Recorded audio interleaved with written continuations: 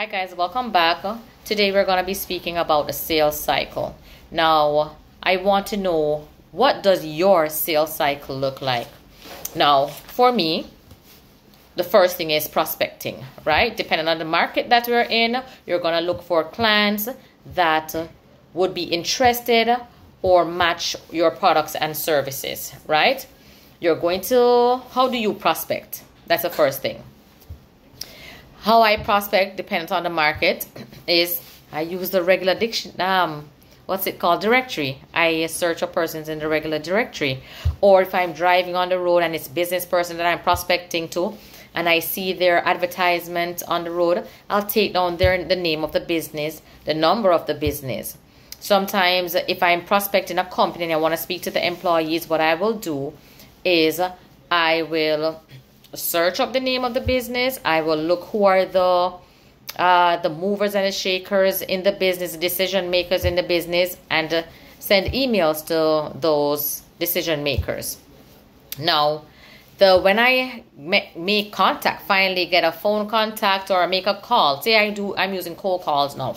I've gotten the information off the directory or off, you know, contact off the road or on the internet, and I'm doing a cold call what do I do? I'll call, I'll introduce myself. If I'm with a reputable company, you know, that's game on for me. That's a plus for me. So I'll give them my name. I'll name the company. I'll name my, name my title and ask for whoever it is that I need, need to speak to. So I ask for John Brown. John Brown comes on the phone. I'm going to introduce myself to John Brown, state my company's, the, the company's name that I represent, my title and I pause. Mm. What does that pause do?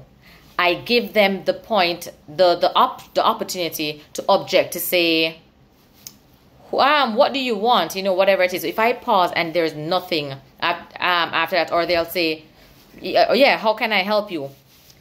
I hit them with my value proposition there, right? To set up an appointment with them. And then and there, let me let me point out, I don't ask when I make call, cold calls, I don't ask the person on the other line to tell me. I don't ask them, is this a good time? I never ask, is this a good time? Just think about it.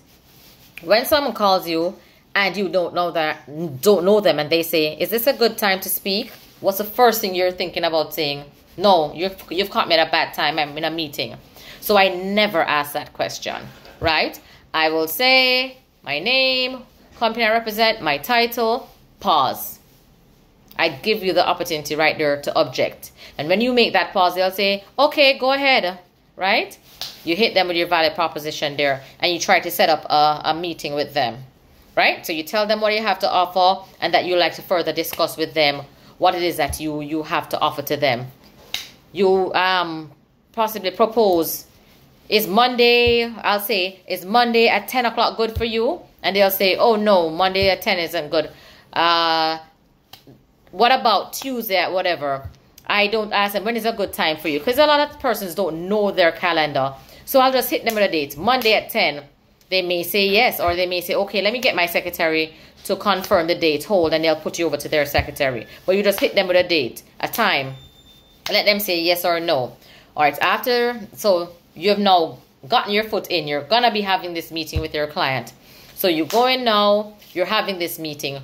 What I use that meeting to do is to qualify my client if they really are a best fit for the product or service. You get to know them. You get to know where they are in in their life or in the space in terms of the product or service you have to offer and where they need to go and you match them with a product or service, right? Now, possibly I'm not I'm not really as uh, aggressive in terms of sales because guess what? For me, I try to be transparent. I try to give you as much information as possible so you can never come back to me and say I didn't know. So I provide to you the information and I you have clients who will say, okay, yes, yeah, sign me up. Bam. Uh, or you can say to them, are you ready to sign? Dependent on, you know, the feel of the meeting. They're ready to sign. You hand them the paper. You show them where to sign. You tell them what they're signing. You get them to sign, okay? say they object. They say, you know what? No, I need to think this over. No problem. At that point in time, you say, okay, let's set up another meeting probably uh, about next week, Thursday, 10 o'clock. Let them confirm a time for your next follow-up meeting, right? Okay, now remember this next follow-up meeting, you're gonna be dealing with objections, right? So you're looking to deal with the objections and to close the sale.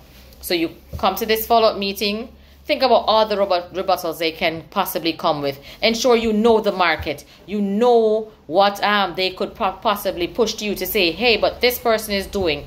Know your market, know your client, right? Know what's best for them. Be confident in what you're proposing to them you when you have this follow-up meeting as they give you an objection you reassure them and you tell them why it is the, your product is a best fit for them. When you're done uh, responding to all their objections you try to close a sale. You give the, you you take out the documentation say okay are you ready now? Let's um, close this um, this deal. We get them to signing right? Any objection they come say it's a it's a sale that they need to pay. And they say oh i don't have cash. No problem. Let me take you to the ATM uh, to get this uh, payment done, right? Or I can take a check, right? Give them all the options in terms of making payments. Close your sale, right? When after you've closed your sale, this is a critical point, guys.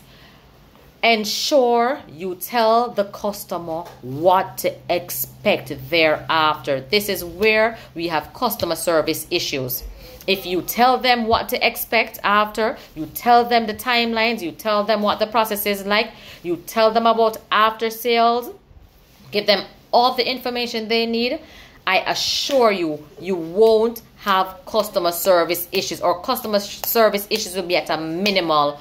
Once it is that you tell them everything to expect timelines, all the data, all the information. Be transparent with your customers or your clients, right? So, and, and also at this point, tell them what is the, the available um, mode or means of communicating with you. Whether you you're to offer them WhatsApp or you're to say, hey, ensure any problems, you shoot me an email give me a call. You tell them what is available to you in terms of communication. Or if it is at a contact center that needs to handle them thereafter, no problem. You give them the contact center's information, right? Now, remember, doing this will help you with customer retention. But once you've signed a customer, guys, depends on the type of sale that you're in. You want to retain this customer. You see where there's future business.